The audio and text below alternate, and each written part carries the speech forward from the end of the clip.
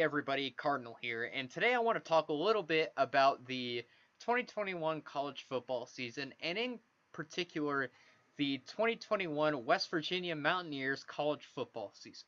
Now, the Mountaineers have announced the TV time slots and all that for their first three games of the year, and the third game is really interesting, and I really want to talk about it. And that game's against Virginia Tech. It's going to take place September 18th, 2021, at noon Eastern Standard Time.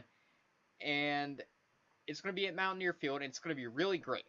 Now, I think that this game is deserving of the night game or evening game treatment.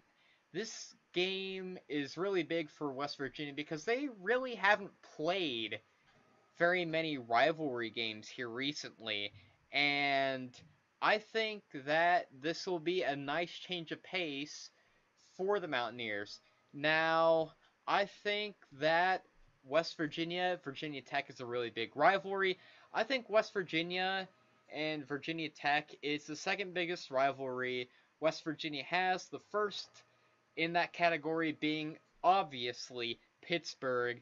And I think that it'll be a really good game and it'll be fun to watch. And I think it'll be deserving of being in that evening or even prime time time slot. Now, I think that Virginia Tech fans also share my opinion about this rivalry. It may have simmered off a little bit, but I think that both fan bases really like this. I mean, if you're a Virginia Tech fan, comment down below about your opinion on this rivalry. Is it as big as it once was? Is it still big? Let me know. So, yeah, this is going to be it for this video.